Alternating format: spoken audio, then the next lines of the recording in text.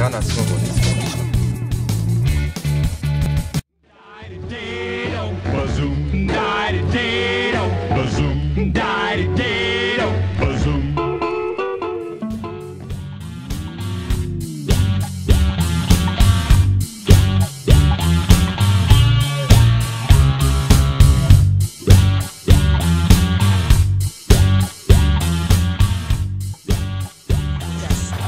Salut à toutes et à tous Trax, c'est une émission et deux rédactions, l'une en France et l'autre en Allemagne.